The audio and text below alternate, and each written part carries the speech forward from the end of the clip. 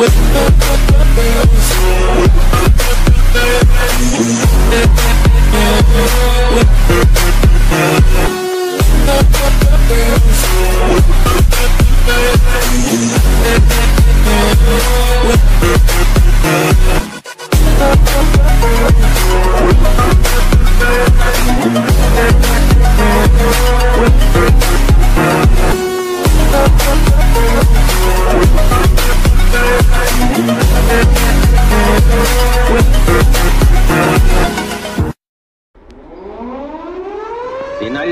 does not find it necessary